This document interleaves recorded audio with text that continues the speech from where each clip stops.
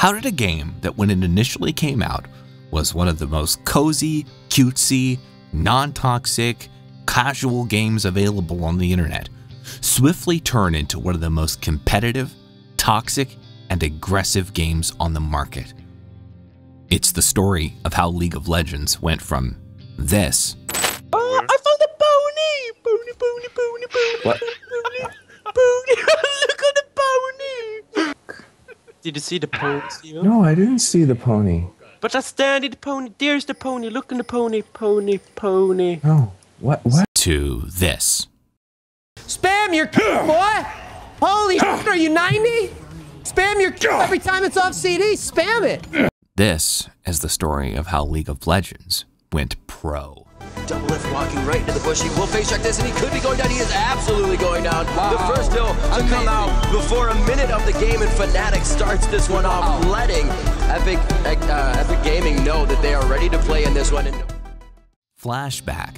It's October 2009, and as a Dota player, I've signed on to a little indie game called League of Legends, and I'm playing in its beta. I'm running around as Nasus, stacking hearts of gold, which, for those of you that remember, were items that gave you gold per minute. I would stack every single slot full of them, max out my items in about 10 to 15 minutes, and then run around and queue the entire enemy team dead. As someone that's played Dota a bit and is not a very good Dota player, this was a power fantasy for me because the people that were suddenly playing League of Legends weren't very good at the time, and the game was a broken mess. But an incredibly fun broken mess, the sort of broken mess that caused a lot of people to send emails to their friends saying, hey, sign up for this beta, this game is a little bit weird and quirky, but it's incredibly fun. At this point, you have to remember that the identity of League of Legends was defined against its predecessor, Dota. And I do not mean the smooth Dota that's on stream now. I mean the old school Dota, the Dota you played on Garena. And that Dota was not a smooth experience. Do you speak Filipino? You probably don't, so you're probably going to get banned from a lot of games, kicked from a lot of games. The micro is hard. Understanding macro and last hitting on that engine with that ping on Garena servers was terrible. It was a rough game to play, a fun game to play, but a game that you would be banned by so many people just for trying to learn. If you think modern day League of Legends is tough to get into, playing Dota on Garena back in the day was a completely different universe. So League's identity was defined by being acceptable, easy to use. You could just download an EXE and click play, and oh my god, you'd be playing a MOBA.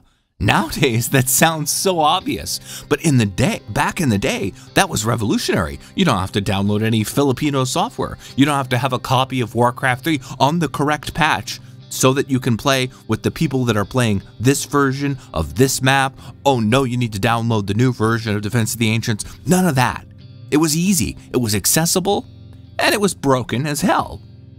But looking back, it's clear that the boys at Riot Games never thought that League of Legends was just going to be the casual, cutesy, more easy to access version of Defense of the Ancients.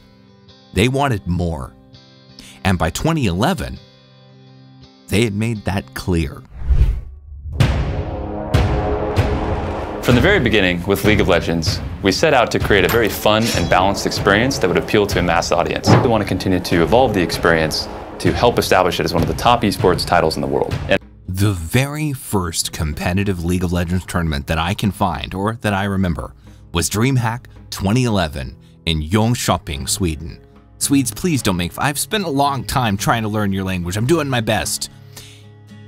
SK Gaming would take home the $10,000 US prize, and I remember hanging out with my buddies on Team Liquid and I can't remember what did we use before Discord, Ventrilo, and making fun of League of Legends being considered a pro game because we had Brood War and StarCraft 2 and Counter Strike 1.6, and we were cool. And how was this little cartoony game ever going to be successful as an esport? What are they going to do next, Riot Games? Make a cartoon version of Counter Strike? okay. Doctor. Nurse. No, no, no. Yes, yes, yes. No.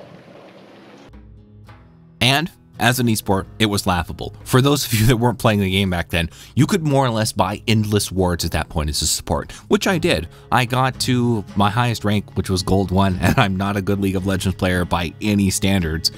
Largely just playing support and buying 100 wards, placing them around the entire map, and then we would win. win. That was it. The game was broken. It was not meant to be a competitive game, but it would soon begin to start transitioning into such. The first League of Legends Worlds might not have been a resounding success compared to the heights of StarCraft 2 at that time or even Counter Strike, but the seeds were planted. There were people that cared, and Riot were watching and beginning to transform the game. I won't bore you in this video with the history of the balance changes during the past years of League of Legends, because I would go insane if I made that video, and I would never make a YouTube video again. Also, I don't think you care. But what I don't think anyone doubts after that first Worlds back in 2011 is that League of Legends began being balanced in a different way. The differences would be minimal over the next few years, but by the time they were bought by Tencent in 2015, things were radically changing. Champions were more complex, damage would be higher, and then lower metas would change rapidly, and overall the game would become more competitive day by day by day. The game wouldn't be balanced by player feedback anymore, with balancers like Phreak admitting that win rates are balanced purely by the mathematics of a character, and that's it. This was no longer a casual game where player experience mattered. This was a competitive game where the metrics were all that mattered in balancing the game, and victory was all that should matter to the person playing it.